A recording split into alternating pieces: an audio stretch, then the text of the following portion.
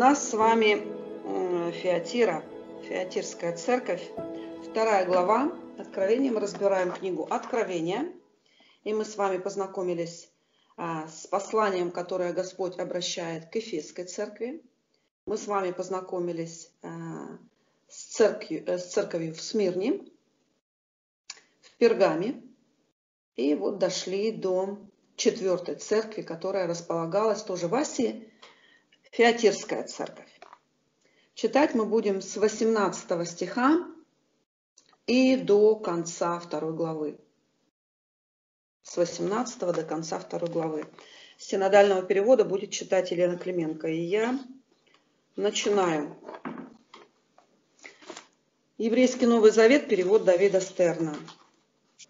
Ангелу мессианской общины в Феатире напиши. Вот послание Божьего Сына, глаза которого подобны пылающему огню, и ступни которого подобны сверкающей меди.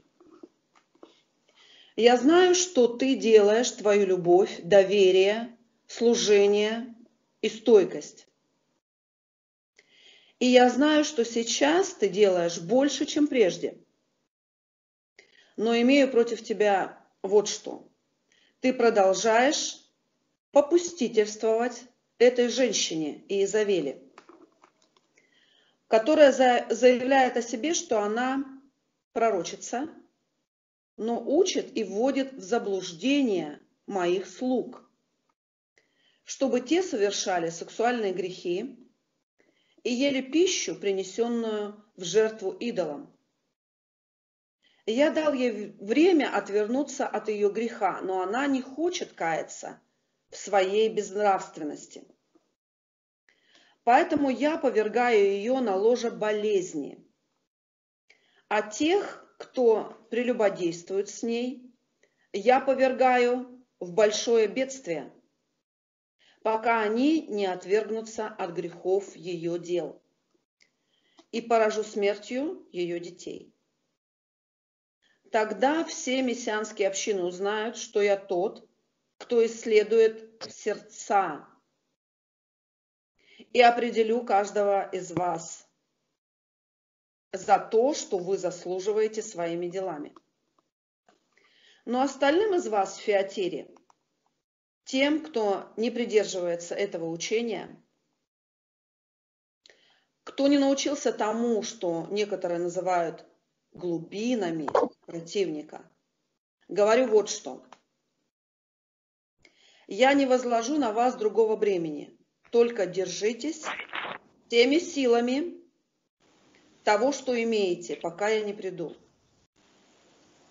Побеждающему и продолжающему исполнять то, чего я желаю, пока не достигнута цель, я дам власть над народами, он будет править над ними железным жезлом и крушить их, словно глиняные горшки, подобно тому, как я получил власть от моего отца. Также дам ему утреннюю звезду, имеющие уши, да услышат, что Дух говорит мессианским общинам. Аминь. Аминь. Это еврейский завет – Хорошо, дорогие, мы сейчас читаем из синодального перевода то же самое место, более понятное нашему слуху, но тем не менее те тонкости, которые говорит еврейский Новый Завет, мы тоже себе сразу помечаем, потому что отрывок большой, и э, сегодняшний разговор тоже он такой обширный достаточно. А, вторая книга Откровения с 18 стиха до конца главы, пожалуйста, Елена. «И ангелу Феатирской церкви напиши, так говорит Сын Божий, у которого очи, как пламень огненный, и ноги, подобно халкаливану. Знай твои дела, и любовь, и служение, и веру, и терпение твое, и то, что последние дела твои больше первых. Но я имею немного против тебя, потому что ты попускаешь жене Изавели, называющей себя пророчицей, учить и вводить в заблуждение рабов моих, любодействовать и есть идоложертвенное. Я дал ей время покаяться в любодеянии ее, но она не покаялась. Вот я повергаю ее на одр и любодействующих с нею, в великую скорбь, если не покаяться в делах своих. И детей поражу смертью, и уразумеют все церкви, что я есть испытающий сердца и внутренности, и воздам каждому из вас по делам вашим. Вам же и прочим, находящимся в Фиатире, которые не держат всего учения и которые не знают как называемых, так называемых глубин сатанинских, сказываю, что не наложу на вас иного времени. Только то, что имеете, держите, пока приду. Кто побеждает и соблюдает дела мои до конца, тому дам власть над язычниками и будет пасти их жезлом железным, как сосуды глиняные, они сокрушатся. Как и я получил власть от Отца моего, и дам ему звезду утреннюю. Имеющий ухо слышать, да слышит, что Дух говорит церквам. Аминь. Аминь. Аминь. Слава Богу. И сначала, наверное, мы начнем, стартуем с самой Фиатиры. Где это, что это в современном мире – и о чем вообще разговор Господа идет с, этой, с этим собранием? Сначала фиатира. Фиатера. Ударение почему-то стоит на А. Фиатера.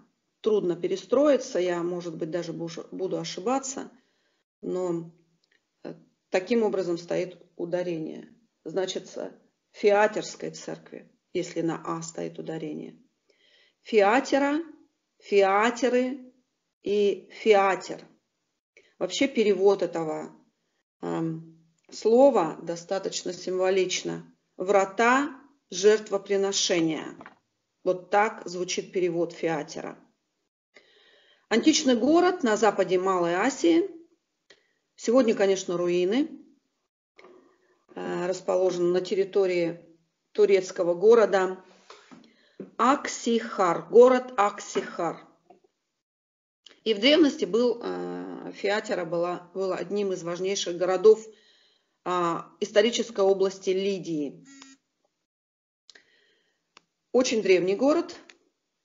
Археологические раскопки э, утверждают, э, что на этом месте он уже существовал в третьем тысячелетии до нашей эры.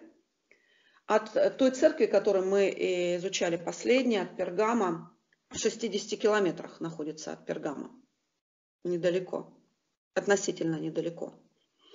И сама Фиатера располагалась на перекрестке важных дорог, что способствовало ее, понятно, превращению в важный торговый центр, в ремесленный центр, в торговый центр.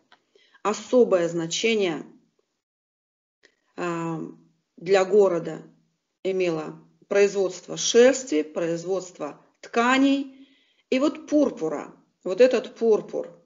Было дерево такое, морено красильное, которое там росло в Фиатере. И ткани окрашивали на тот момент, обычно использовали, э, чтобы вот в такой пурпурный цвет окрасить ткань, Э, использовали пурпурных моллюсков. Так делали в тире. А, но в фиатере э, это делали с помощью корня марены красильной. Тем этот гор, город особенно э, и отличается. То, что делая ткани, они окрашивали их уникальным способом. И вот данное производство вдумайтесь только, существовала в этом регионе до второй половины XIX века. Потом эту краску заменили на анилиновые красители, а три столетия до новой эры и 19 веков новой эры ткани красили вот этой вот э, мареной из корня делали. В Фиатире существовала древняя христианская церковь, это нас больше всего а, интересует. И когда разные этнические группы жили там, и разные вероисповедания, но до начала и даже еще в начале третьего века нашей эры почти вся Фиатера была христианской. Это очень важный аспект, потому что в XIII веке, уже после завоевания э, Фиатеры турками, вся христианская епархия была ликвидирована. В начале XX века население Аксихара, на которой находятся развалины Фиатеры, составляло 22 тысячи человек, из которой было 14 тысяч уже мусульман, 7 тысяч православных греков, тысяча армян, евреев. И вот в результате в это время был туре, э, греко-турецкий обмен населения. Греческое население, оно полностью покинуло город. И с этого э, времени город стал ну, по населению в основном занят турками. Турецкий город. Что касается немножечко, давайте мы а, церкви Феотирской и того, что описывает, а, описывают об, этой, об этом месте в других местах, вот в частности есть деяния. Мы посмотрим зарождение христианской церкви здесь, на этом месте. Эм, я взяла пример э, из деяния, мы поговорим еще и о Лидии самой, э, женщина такая была. В деяниях апостолов говорится что когда вот апостол Павел пошел в свое второе мессианское путешествие, вместе с силой он пошел, отплыл из Трады, прибыл в Македонию, и вот он впервые вступает на землю Европы. Македония – это уже Европа. И город Филиппы – это первый европейский город, а, куда при, э, пришел Павел, где было проповедано слово о Христе. Э, и в этом городе, в Филиппах, была женщина родом из Фиатеры, ее звали Лидия.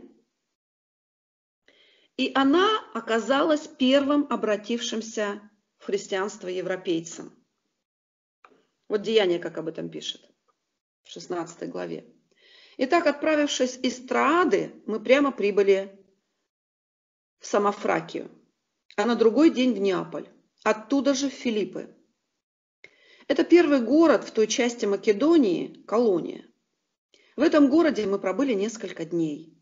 В день же субботний мы вышли из города к реке, где по обыкновению был молитвенный дом, и, сев, разговаривали с собравшимися там женщинами – и одна женщина из города Фиатир, Фиатер, именем Лидия, торговавшая багряницей, багряный цвет, пурпурный цвет, чтущая Бога, слушала, и Господь отверз сердце ее внимать тому, что говорил Павел.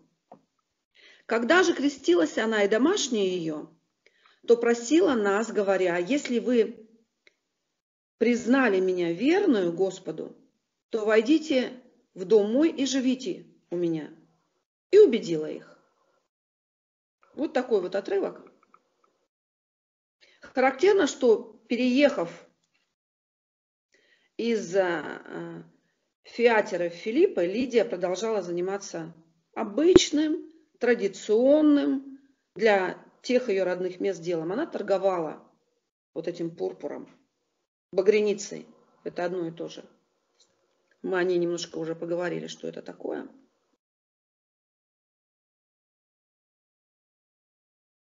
Поскольку Фиатера стояла на границе Лидии и Миссии, Павел побывал и в Фиатере, вот в этом городе. И вот это вот обращение, переходим к откровению, непосредственно к тому месту, которое читаем в книге Откровения, какая привязка к этому идет. один из семи малазийских городов и город, в котором находится христианское собрание, к которому обращается Иоанн Богослов по повелению Иисуса Христа. Ну вот в такой вот манере характерной для этого написания к ангелу, ангелу семи церквей, есть похвала, есть порицание. И э, Фиатерская церковь, э, к ней обращено одно из самых длинных обращений – и Иоанн, и Иисус хвалит дела, любовь, служение, веру. Но есть порицание за равнодушие к лжеучению жены Изавели. И здесь важно понимать, что мы не к женщинам привязку делаем, Изавель, это дух. Он свойственен и мужчинам, и женщинам в равной мере. И Изавель не потому, что она жена. И Изавель – это дух. Но там была такая женщина, которая была водима нечистым духом. Господь говорит, я дал ей покаяться, но она не покаялась, не захотела каяться. И тогда уже наказание звучит. Я повергаю ее на одор, за вот это прелюбодеяние, любодеяние, за вот такие служения, которые она ввела, не только сама этим занималась, но и людей к этому приобщала.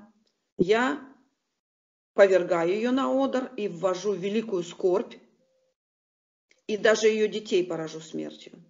И тогда все церкви уразумеют, не одна это, но все, что именно Господь, Он сердцеведец, Именно Он, испытывающий сердца и внутренности.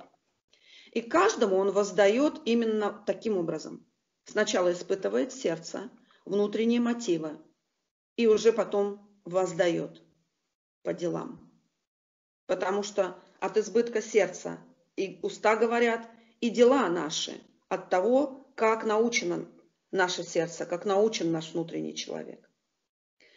Вот такой комментарий, конечно же, сразу привлекает внимание Изавель. А, мы посмотрим на эту историю, что это за Изавель такая. Напомним себе. Я возьму библейский словарь Ньюстрома, и там говорится следующим образом. Сейчас прочитаю вам. И потом еще еврейский мир. Это евреи сами о себе пишут, и там тоже этому уделено несколько мест. Сначала словарь. Изавель, дочь Ев Ваала, царя Сидонского, жена Ахава. Мы из Писания тоже это место возьмем. Ввела в Самарии поклонение Ваалу и Астарте. Перебила пророков Господних. Сотни идольских жрецов кормили за ее столом. Любодейство и волхвование она творила без стыда. Она научала своего мужа делать негодные пред очами Господа. Особенно отвратительная история, как она доставила ему виноградник Навуфея. После смерти Ахава она жила еще 14 лет. По приказу Иуя ее выбросили через окно дворца к воротам в стене города. Там она скончалась под ногами лошадей, и псы съели ее мертвое тело. Об этом пророчествовал, кстати, Илия, что таким образом она умрет. И второй комментарий, это вот от нас как раз а, относится к Фиатере. Там была вот эта лжепророчица, которая ввела в заблуждение рабов Господних, научив их, это уже к Фиатере относится, любодействовать и есть идоложертвенное. И Господь грозит ей и ее последователям ужасными наказаниями и побуждает остальных остановиться, оставаться верными до его пришествия. Это вот так библейский словарь говорит об этом. И мы сейчас с вами возьмем и из Писания посмотрим на это, и посмотрим на то, как э, еврейское издание говорит про ту же самую Изавель и Ахава. Читаю из э, еврейского мира. Ахав и Изавель. История царя Ахава. Здесь понятно э, имена, тот же самый э, обладатель виноградника, о котором мы только что прочитали, он Навуфей звучит э, в европейском прочтении. А здесь он э, Навод его имя, Навуфей, скажем так, на славянском, в славянском звучании, в еврейском его зовут Навод. Пусть это вас не смущает. Читаем. История царя Ахава и его нееврейской супруги. Хотя сразу можно здесь остановиться, что евреям вступать в браки с неевреями запрещено. Кровосмешение запрещено. Так вот, история царя Ахава и его нееврейской супруги Иезавели учит нас тому же, что и история другого Божьего избранника. Нарушение заповеди не домогаться чужого может привести к куда более серьезным грехам. Ахаву, царю десяти северных племен, понравился виноградник, примыкавший к его землям. Его владельцам по имени Навод, его владелец по имени Навод, отказался продать этот участок, так как его род владел им со времен прихода евреев в страну Израиля, и Навод не горел желанием расстаться с подобной семейной реликвией. Ахав совсем было расстроился, и тогда Изавель, дочь финикийского царя, абсолютно чуждая библейской морали, обнадежила мужа. «Да будет весело сердце твое, я дам тебе виноградник Навота». Она находит двух подлецов, которые лжесвидетельствуют о том, что Навод публично поносил Бога и царя. Это не только каралось смертной казнью, но и вело к конфискации всего имущества, осужденного в пользу царя. Так глаз, брошенный на чужое добро, привел к нарушению запрета лжесвидетельства, кражи и убийства. Лжесвидетельство вслед, вслед за завистью вот этой взгляд на чужое добро. Лжесвидетельство, ложь, кража и убийство. Через, через несколько дней Навота казнили. И Ахав, наконец, возрадовался, виноградник принадлежал ему. Но Бог знает о злодеяниях царской четы и говорит пророку Илиягу, Илия. Так звучит Илиягу на иврите. «Встань, пойди навстречу Ахаву в винограднике Навота и скажешь, так сказал Господь, ты убил, а еще и наследуешь? Ильягу поджидает Ахава и сообщает ему слова Бога, предрекая скорое падение и Ахава, и его семьи, а в довершении всего предрекает, что псы пожрут тело Изавели в украденном ими у Навота винограднике.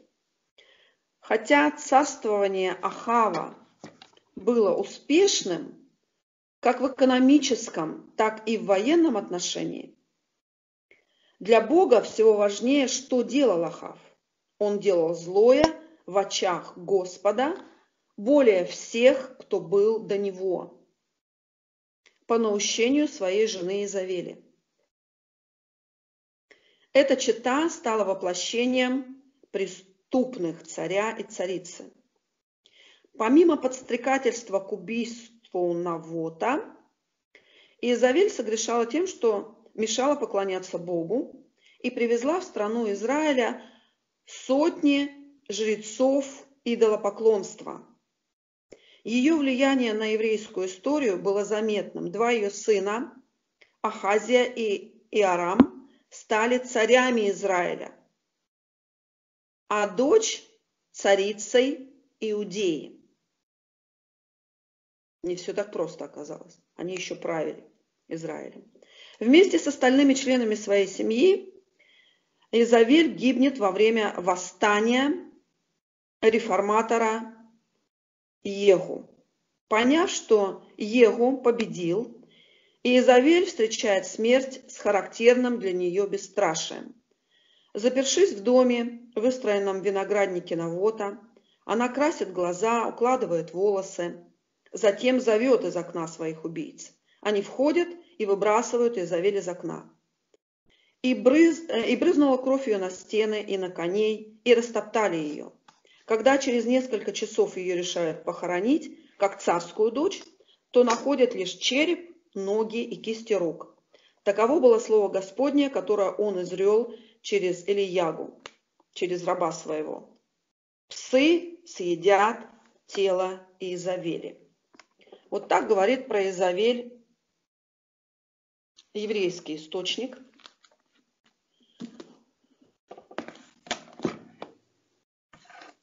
И вот это то, что лжепророчица в Фиатере, которая была под воздействием этого духа, и которая к тому же самому, тем же самым действиям уже а, во времена Нового Завета, духи никуда не деваются, мы это понимаем прекрасно, она ввела в заблуждение рабов Господних, научила их прелюбодеянию, научила их есть идоложертвенное, запрещала поклоняться истинному Богу.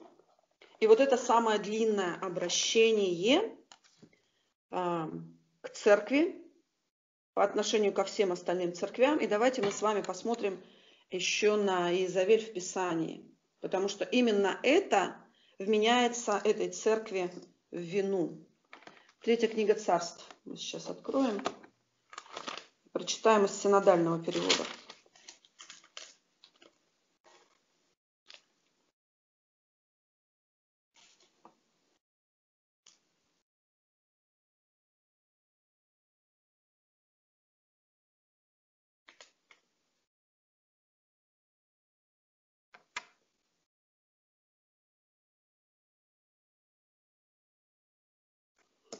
Я не могу найти это место. Сейчас, секунду.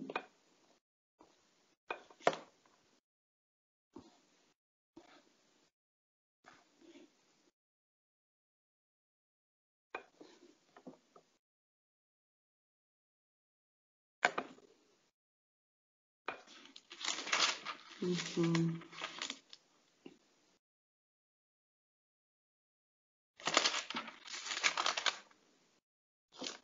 21 глава, давайте отсюда. «И было после сих происшествий у Навуфея, израильтянина, в Израиле, был виноградник, подле дворца Ахава, царя Самарийского. И сказал Ахав Навуфею, говоря, отдай мне свой виноградник. Из него будет у меня овощной сад, овощной сад, ибо он близко к моему дому, а вместо него я дам тебе виноградник лучше этого. Или, если угодно тебе, дам тебе серебра, сколько он стоит. Но Навуфей сказал Ахаву, сохрани меня, Господи, чтобы я отдал тебе наследство отцов моих. И пришел Ахав домой, встревоженный, огорченный тем словом, которое сказал ему Навуфей, говоря, не отдам тебе наследство отца моего. И лег на постель свою, и отворотил лицо свое, и хлеба не ел. И вошла к нему жена его Изавель и сказала ему, отчего встревожен дух твой, что ты и хлеба не ешь? Он сказал ей, когда я стал говорить Навуфею и сказал ему, отдай мне виноградник твой за серебро, или, если хочешь, я дам тебе другой виноградник вместо него, тогда он сказал, не отдам тебе виноградника моего.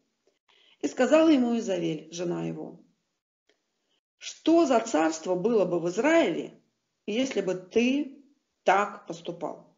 Встань, ешь хлеб, будь спокоен, и я доставлю тебе виноградник Навуфея, израильтянина. И написала она от имени Ахава письмо, и запечатала их его печатью, и послала его письма к старейшинам и знатным в его городе, живущим с Навуфеем. В письмах она писала так. «Объявите пост, посадите Навуфея на первое место в народе и против него посадите двух негодных людей, которые свидетельствовали бы на него и сказали, ты хулил Бога и царя. И потом выведите его и побейте его камнями, чтобы он умер.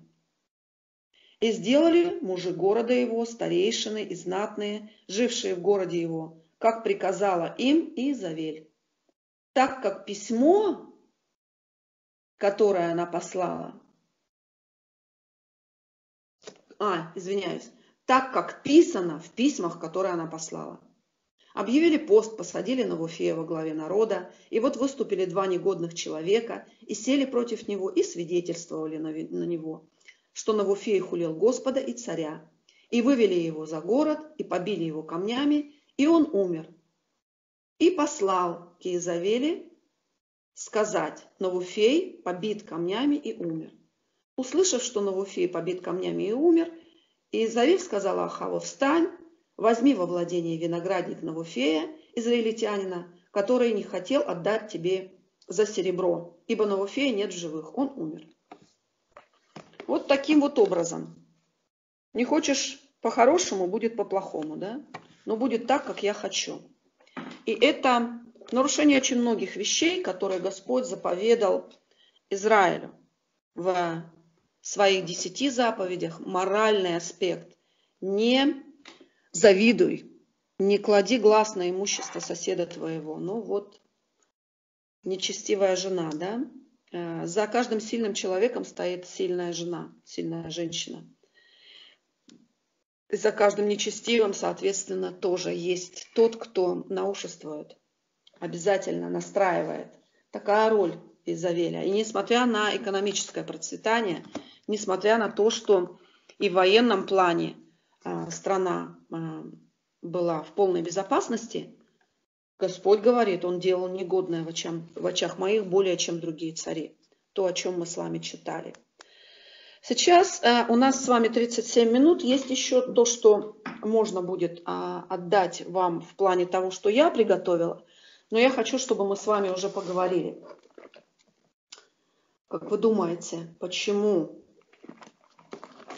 взята именно эта церковь? Почему Господь дал самое длинное послание, и тем не менее Он эту церковь хвалит?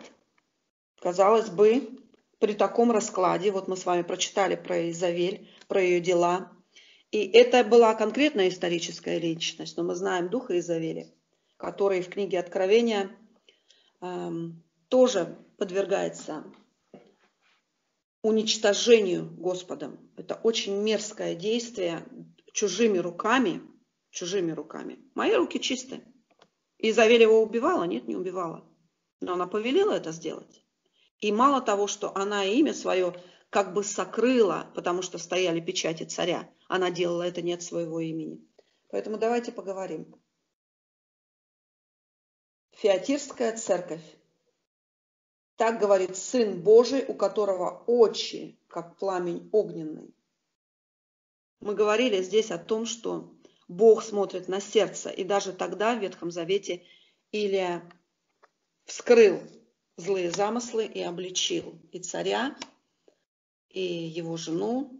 И вот ее смерть вот такая, очень неординарная, скажем. Давайте поговорим, кто первый хочет. Что хочется сказать вот в связи с тем, что мы с вами услышали? Можно мне? Приветствую всех. Зифа. Да, Зифа, пожалуйста. А, вы знаете, вот первых же стихов говорится, которого очи как пламень огненный. Мы в своих делах там, стараемся что-то делать, и нам кажется, что правильно мы делаем и так далее. Но сегодня прямо с утра была молитва, чтобы глаза мои открылись, Господь, как ты смотришь на все. И вы знаете, очень как-то вот когда читаешь вот эти вот слова, очи, как пламень огненный, страшно делается, потому что мы действительно должны вот задуматься. Мы можем много хороших дел сделать там, и в стране может быть хорошо все и так далее. Но Бог смотрит по-другому. Вот это взять вооружение в свою жизнь и вот этого вот придерживаться. Действительно, страшная э, церковь кажется. Написано, написано. Но я думаю, что основание было заложено хорошее, твердое на Слове Божьем. на откровениях Божьих. И поэтому Господь все-таки к этой церкви отнесся благожелательно. Все у меня. Спасибо. Благосклонно, да. А, говорит, знаю дела твои, но имею немного против тебя. Совсем немного против тебя, Фиатера. И Изавель там у тебя. Немного. Спасибо, Зефа. Еще, пожалуйста. Рассуждаем. Это очень важно, рассуждать вслух по поводу услышанного. Потому что если сейчас взять на скидку, а, мы очень много говорили о Ефесской церкви, и каждый скажет сейчас, вспоминая, совсем недавно говорили, и каждый уже скажет, что а, Господь говорит о том, что я не на первом месте. Мы много рассуждали. А что он говорит Смирне? Скажите кто-нибудь, вот прямо сейчас. Что Смирне он сказал?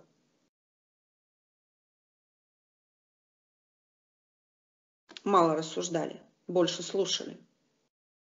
А что сказал он Пергаму? Тоже. Приходится возвращаться опять и вспоминать. Хотя про Эфес мы очень хорошо помним.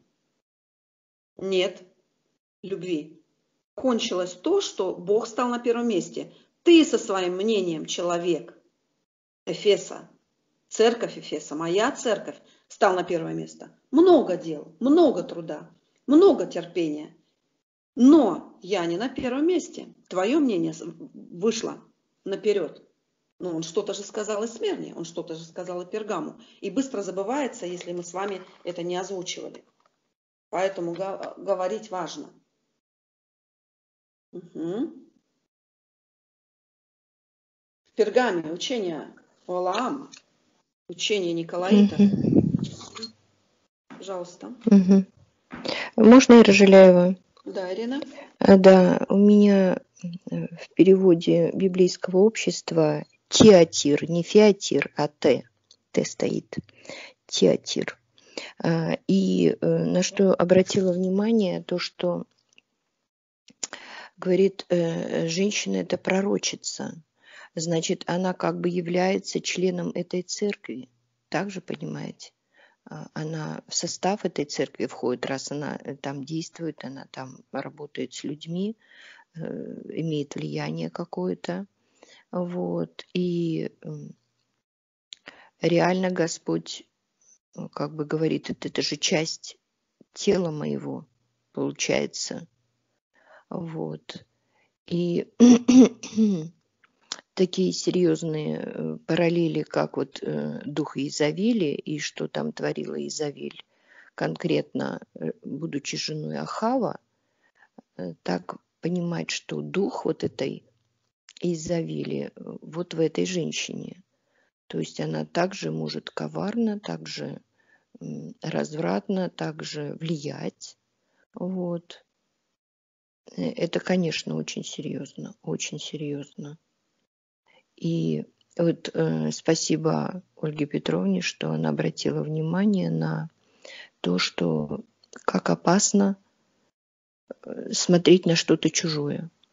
Какие страшные результаты, когда Бог говорит, не пожелай, не пожелай. Вот. Так что вот так вот. Спасибо вот этом, что мы прочитали это место и есть о чем поразмышлять. Спасибо. А вот смотрите, церковь, да, Ирина, спасибо, церковь э, Фиатера. Кстати, вот эта э, еврейская жизнь, из которой я брала, там тоже Фиатер, кстати, написано.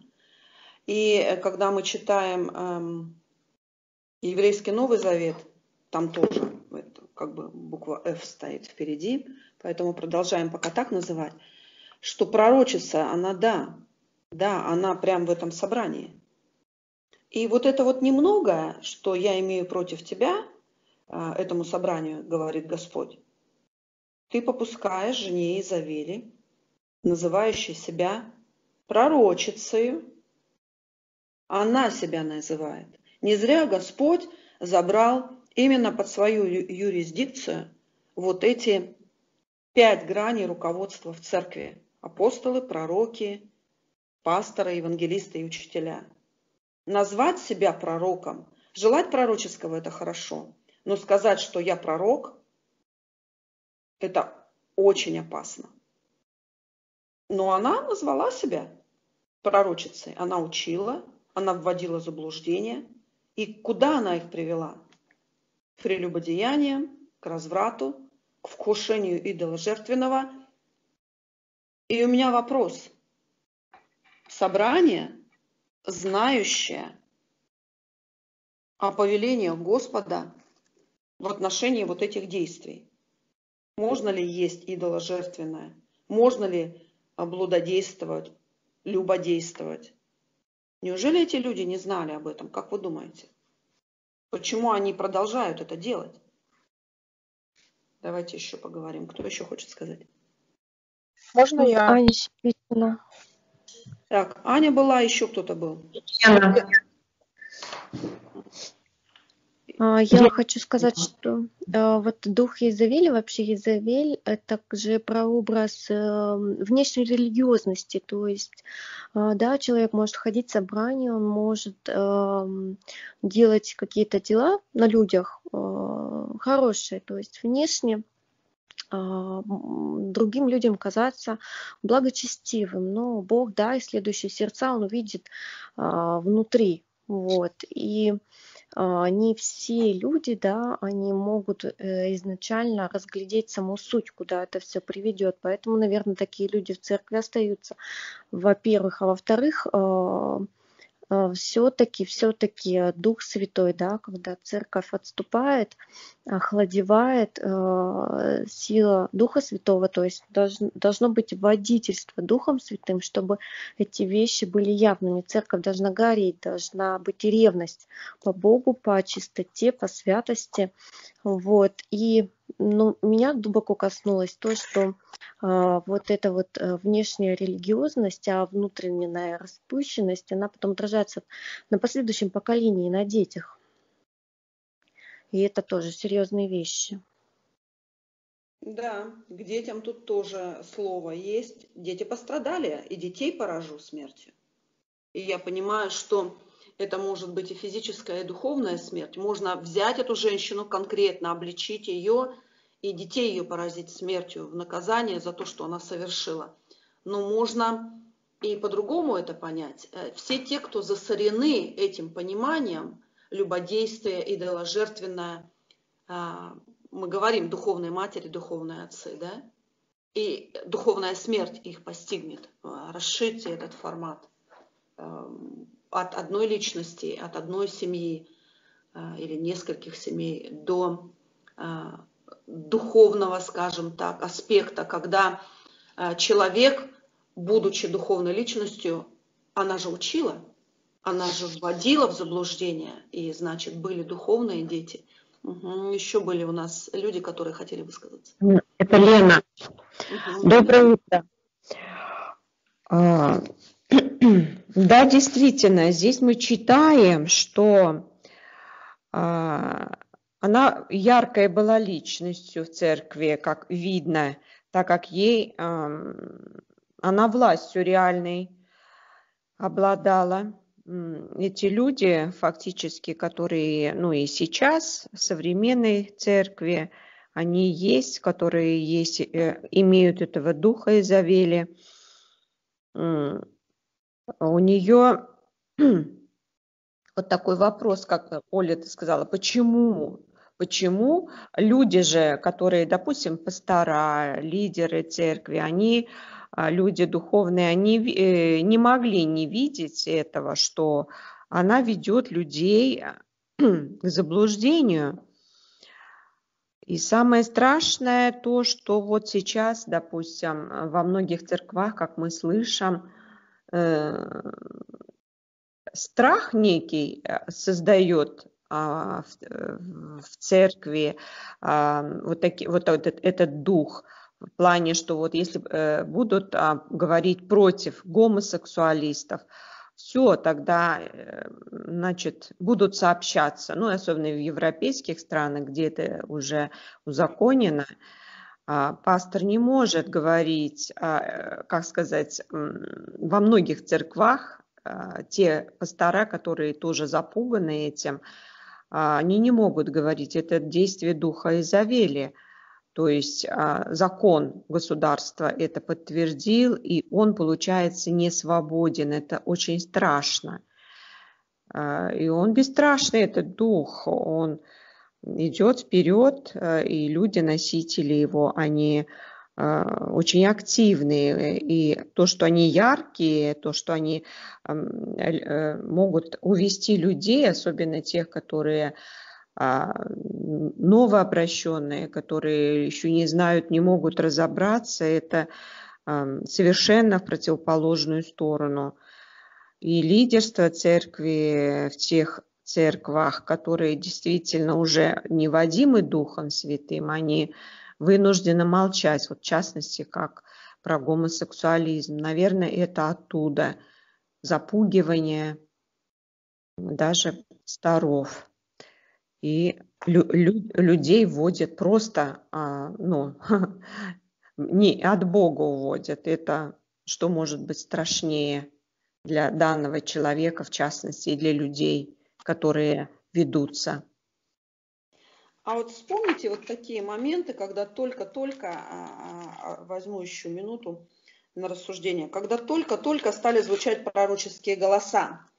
Как это, как правило, звучало? Это звучало Э, с очень серьезной долей а, даже угрозы какой-то. Вот тут исправься, там исправься, тут покайся, там покайся, если не покаешься. По примеру ветхозаветных пророков, совершенно не вникая в суть новозаветного посланничества пророческого. Это очень позитивные вещи к назиданию, увещанию, укреплению и церкви, и человека для восстановления сокрушенной души. Поэтому э, можно предположить и такие вещи, что, может быть, кто-то ей и пытался говорить, но она от имени Бога могла и вот такие вещи производить, как э, когда начал, началось восстановление пророческого движения. Э, люди боялись пророков, что если сейчас пророк придет, ну, мало не покажется. Угу, прошу прощения. Движемся дальше. Кто-то у нас еще был, хотел. Можно, можно я скажу? Да, пожалуйста. Пожалуйста, Рокшун, а потом Любовь подрез. Я вот изучала эту тему и сама столкнулась с этим духом, когда ну, имела своего лидера вот с таким духом. И, и уже побыла в этой ситуации, то есть пережила эту ситуацию – я вам хочу сказать, что э, истинное развлечение вот этого духа, оно приходит именно на уровне апостольско-пророческого служения. И пасторы, некоторые, они не, не разбираются в этом. Они не, не имеют этой полноты откровения об этом. И почему это допущено сейчас в церквях? Потому что сейчас во главе церкви стоит пастор, а не апостол, как должно быть. И истинная власть. Вот вспомните, кто изгнал эту Изавель. Это был человек, помазанный на царя. То есть это был, можно сказать, уровень апостольской власти должен быть, чтобы просто изгнать, связать. И просто сказал, выкину, выкиньте ее. Там пророк даже не мог а, справиться с этим. Он убежал, потому что а, этот дух Изавели, он гонит истинных пророков потому что он хочет заменить истинное пророческое служение э, вот этим э, служением духа Изавели, которое преследует только цель власть и э, развратить народ Божий и вернуть его в глубокое греховное заблуждение – а, то есть э, тут идет конкретное идолопоклонство. И эти люди, которые одержимы духом Изавели, они преследуют только цель поклонения а, самой Изавели и послушания Изавели, а не Духу Святому.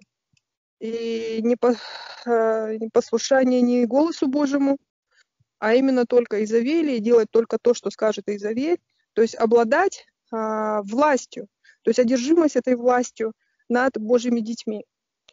И хочу сказать, что когда будет полнота э, пятигранного служения в церкви, таких вопросов у нас не будет стоять, почему Изавель, она командуют. Почему апостолы обличали? Потому что они это видели в духовном плане, что, например, царь, этот там служитель, пастор поставлен, он не видит этот дух Изавеля, он не имеет этого развлечения, он думает, ой, какая сестра, она служит, она помогает нашему служению. А на самом деле эта сестра, она уводит от истины народ, она их там, например, или, ну, это может мужчина быть тоже, который подчиняет себе духовно э, и получается как идолопоклонство внутри церкви, когда поклоняются не Духу Святому, поклоняются не Богу, то есть э, и не Иисусу поклоняется, а поклоняется человеку, заглядывает ему в рот, слушает, что он говорит, исполняет то, что он прикажет, а он может ну, заниматься вообще всяким таким непотребством даже. И духовным э, непотребством, и вплоть до физического греха. Поэтому это дух э, обольщения. И когда приходит э, апостол с апостольским помазанием, он просто вышвыривает этот дух, связывает, связывает его и изгоняет. Вот у меня такое понимание. Все. Ценное, ценное высказывание по поводу апостольско-пророческого сезона. И да, церковь, она Э, собрание, истинная церковь, она стоит на основании апостолов и пророков, и Господь как раз сейчас ведет этот, э, эту восстановительную работу в церквях. И полнота э, откровений, которая получила сейчас Церковь Божья, она достигла такого уровня, что возврата к прошлому уже не будет. Вернуть церковь под воздействием ложных религий, под ограничения не Божьего плана уже будет невозможно. Люди уже а, получили полноту вот этих откровений, чтобы желать перемен, именно Божьих перемен в церкви. И это дает только вот сезон, апостольско-пророческий сезон и восстановление пятигранного служения. Ценное очень замечание. Пожалуйста, Люба, спасибо, Рухшона. Угу. Пожалуйста, Люба. Да, э, доброе утро. Вот очень перекликается с вчерашнее служение, это вот дух Вавилона, это когда эгоизм, гордо и гордость. И в чем ты находишь наслаждение? Почему люди э, уходят иногда, ищут наслаждение в другом? Можно в Боге найти наслаждение и, и безопасность, а можно найти и вот э, в этих непотребных вещах. И поэтому, конечно, тут предназначение церкви, чтобы это вот э, не, не допускать предназначение церкви, не допускать вот таких, э, вот такого духа Изавели. И еще меня коснулось очень сильно, что Бог дает, так, Он дает время отвернуться от греха, показывает, что ты в грехе, да, если этот человек не хочет покаяться, то тогда вот э, уже на ложе болезни – и у нас вот вчера свидетельство было, семья, ну, там человек ушел из семьи, и у ребенка 7 лет артрит. Таких, э, как бы, такая болезнь, это ну, не детская болезнь. И через прощение, через, э, вот когда э, отец уже попросил прощения у сына, и вот это вот произошло, вот это освобождение, уже тогда, ну, началось движение вот как бы по исцелению. Но я хочу сказать, что Бог вот поражает, э, и почему происходят у нас э, такие ранние заболевания у детей, много которых раньше не было. Это вот такое вот безгреш, э, греховная жизнь это родителей. Откуда вот берутся все эти болезни, которых не было раньше. Бог дает шанс покаяться и всегда предупреждает. Надо быть очень чутким тому, что он говорит, и все время быть, э, ну, страх, страх Божий, чтобы был. Спасибо, Люба. Нам не хватило даже времени, но я думаю, понятен, а, понятно направление для рассуждения, для анализа, чисто для нас, а, на основании того, что сказано к Феотирской церкви. Но последнюю фразу, которую я хочу сказать, а, прежде чем мы завершим сессию, что Господь говорит, имею немного против тебя – такое злостное поведение, такие грубые нарушения стандартов морали Божьей, устоев Божьих по отношению к тому, что делала а, вот эта пророчица а, в церковном собрании. И тем не менее Господь говорит немного. Для него не проблема.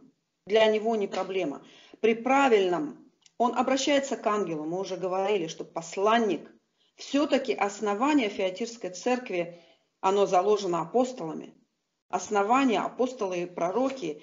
И не проблема при э, том, что мы будем взирать на Бога, искать Божьего, проверять мотивы своего сердца. Не проблема. Распознать этот дух.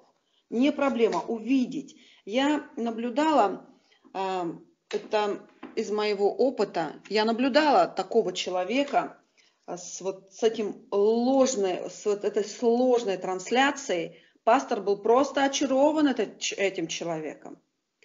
Оболгал человек всех остальных. И взгляд был таков пастора на этого человека, на этого служителя, что вот она, чистота служения Богу. Там такое поклонение, там все на коленях, там все в слезах. Там уже жена ревнует, пастор ничего не слышит. Очарование даже идет. Это дух, это не просто увидеть, распознать. Вот мы такие супердуховные, мы точно распознаем этого духа. Пастор, лидер собрания. И потом, а, как, э, как э, нашлось подтверждение этому всему? Муж уезжает на заработки, жена куда уходит? Жена уходит в блуд. И вот это вот вскрылось. Вот это вот вскрылось. Но Господь, вот как через пророков, через апостолов, через это помазание, которое есть, Он дает это увидеть заранее. И если человек действительно, у него уши обрезаны, чтобы слышать Бога, а не очаровываться человеком, вот в данном случае э, с яркой харизмой в служении, э, он задумается, Поэтому для Бога это немного. Для э, детей Божьих это не трудно. Особенно если сейчас мы апостольские, пророческие, мы люди, которые находимся в этом сезоне, пропитаны этой трансляцией. Поэтому спасибо, Господь, за вот это время, когда идет восстановление пятигранного служения в церквях идет восстановление апостольского, пророческого служения. Вот этой связки апостолы и пророки. Когда пророки сказали, а апостолы реализовали. Когда есть смелость и помазание, и дерзновение выступать против тех духов, которые считаются сильнейшими. Не так много их заявлено. Это дух Изавели, дух Вавилона, система этого мира, и дух фараона, и дух смерти. Это те вертикали духовной власти, которые под себя подмяли вообще весь духовный демонический мир. Если мы разберемся вот с этими четырьмя, скажем так, царство сатаны, оно все, оно рухнуло. Оно рухнуло. И в Божьем плане оно действительно рухнуло. И к Феатире Господь говорит, вот у тебя как раз вот эта вертикаль власти прижилась прижилась, и ты ей позволяешь. Но даже духовных детей у нее не будет. Ни физических, ни духовных. Интересное, конечно, служение. Слава Богу, дорогие, за весь наш разговор, за ваше присутствие. Мы завершаем наше служение, наше время кончилось. Рассуждайте, молитесь. Господь, глаза Его, в них пламень огненный, Он сердцеведец. Мотивы, мотивы сердца. Мотивы сердца. На этом завершаем благополучия в ваши дома и тесного общения вам с Господом. Шалом, шалом, дорогие. Шалом.